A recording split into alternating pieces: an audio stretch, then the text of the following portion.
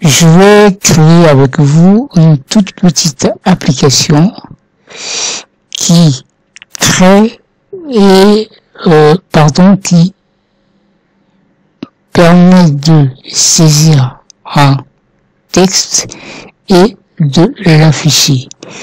Euh, je vais la créer en HTML, CSS, JavaScript et PHP. Alors comme prérequis, euh, je vais un peu vous faire rire, il vous faut un cerveau, ça c'est naturel. Il vous faut euh, un, un éditeur de texte, prenez n'importe lequel, par exemple Sublime Text ou euh, Code. Euh, il vous faut un serveur, euh, par exemple euh, Server ou Zamp, quitte à vous devoir, et naturellement un navigateur. Ce que euh, je vais faire en premier, c'est de créer un dossier. Alors le dossier, je vais le créer dans mon serveur. Cela dit, euh, pour mon cas, je vais utiliser euh. Donc, euh, je vais à mon emplacement. Zamp chez moi se trouve dans le disque local, donc dans C, le lecteur C. Voilà. Voici, j'y accède. Et le dossier source ici, c'est htdocs. J'accède. Et dans htdocs, j'ai créé un dossier que j'ai nommé mes projets. C'est ici que se trouvent les projets de mes clients et mes projets personnels.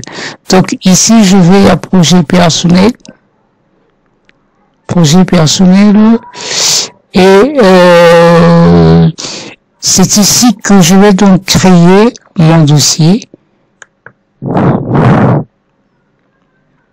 Ce dossier contiendra tous les fichiers liés au site et je le nomme euh,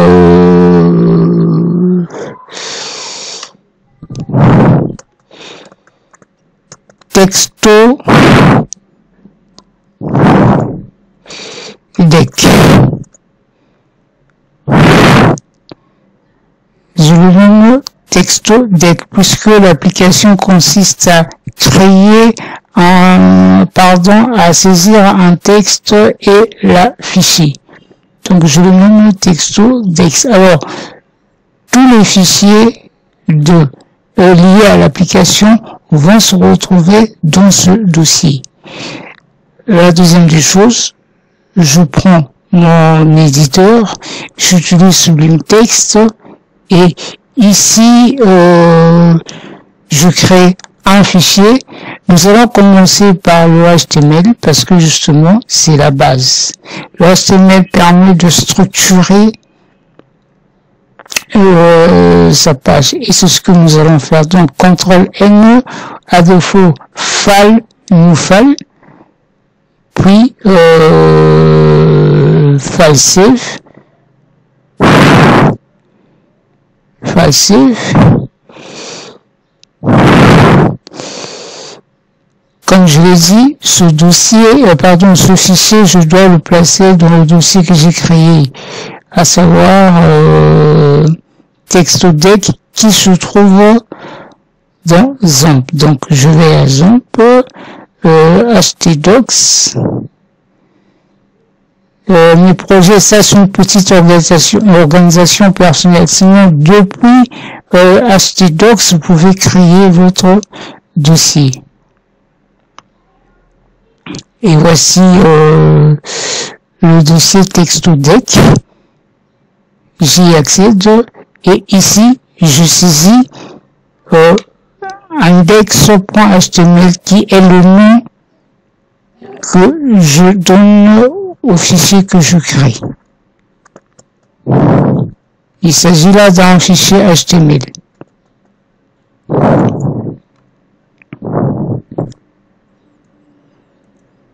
J'enregistre. Alors, ce fichier contiendra un petit euh, formulaire qui aura, euh,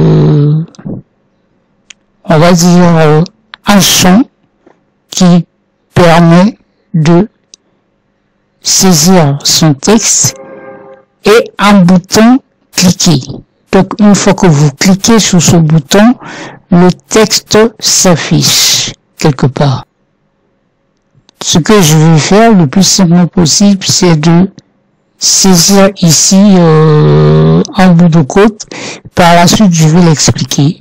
Donc voici le bout de code, il est là et je l'enregistre, je prends le son d'enregistrer dès le départ via le clavier CTRL S ou bien euh, pour ceux qui utilisent euh, sur le texte file save.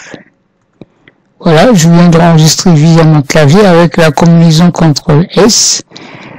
Alors, rapidement, j'explique le code. Euh, point besoin d'expliquer la structure de base parce que c'est déjà fait dans le cours. Pour ceux qui ont pris une inscription à Tangades, ils savent ce que c'est que la structure de base HTML. Alors, le petit formulaire, en fait, ce qu'il s'y est d'expliquer ici, c'est ceci. Voilà ce que je viens de sélectionner. Ces lignes que je viens de sélectionner, ce sont les lignes que je vais me permettre d'expliquer ici. C'est ce qui est nouveau ici. Le reste, vous n'avez qu'à vous référer euh, à la structure de base HTML. Alors, la première ligne ici,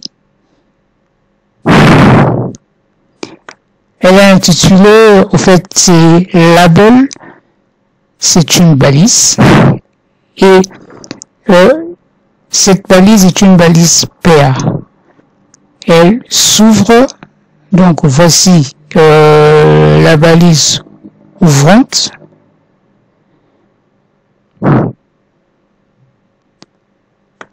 Et la balise fermante. Alors, cette balise indique comme le libellé.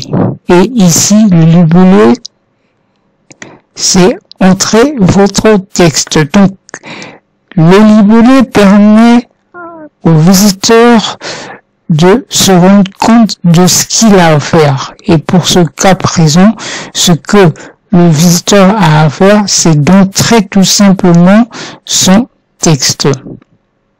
Après euh, le label vient la balise input. Cet input est un input de type texte. Il permet tout simplement de saisir son texte. Et c'est un champ, au fait, qui permet tout simplement d'entrer son texte. Et enfin, nous avons le bouton cliquer le bouton que nous avons euh, nommé, euh, que j'ai nommé euh, cliquer. Bon. Et ceci est tout simplement un, un titre de niveau 2. Et euh, voilà. Le principal ici, c'est cette balise. La balise div c'est ici que s'affiche justement le résultat. Donc le texte que vous avez, le texte que vous avez entré, lorsque vous appuyez, vous cliquez sur euh, le bouton cliquer, le texte s'affiche justement au niveau de la balise div que je viens de sélectionner. Voici la petite explication que je tenais à donner. Et si vous avez des questions, surtout n'hésitez pas de les poser en commentaire. Alors, ce que je vais faire avant de terminer cette première partie, c'est de checker euh, ce que nous venons de faire. Pour ce faire, donc, je me rends à l'emplacement de mon dossier. Le dossier se trouve dans ZAMP et voici, il est là, texte deck. Texte deck, je crois, c'est ça. Et voici mon fichier HTML. Je double-clique dessus. Voici ce que ça me donne. Texte deck, c'est le titre H1, le titre du premier niveau. Et voici euh, le label. Entrez votre texte et ce champ-ci, c'est l'input de type texte dont je vous ai parlé. Le bouton cliquer est là. Le résultat, pour l'instant, rien n'a été saisi et donc rien ne peut s'afficher. Alors, euh, la suite va consister à rendre euh, cette page un peu plus attrayante. Et pour ce faire, nous allons faire intervenir un autre langage à côté du HTML qui est le CSS. Je précise que tout ceci est pour l'instant réalisé avec le HTML. Et le code est le suivant, celui-ci. Tout ceci ne constitue qu'un code HTML. Merci, c'était Dukusoft.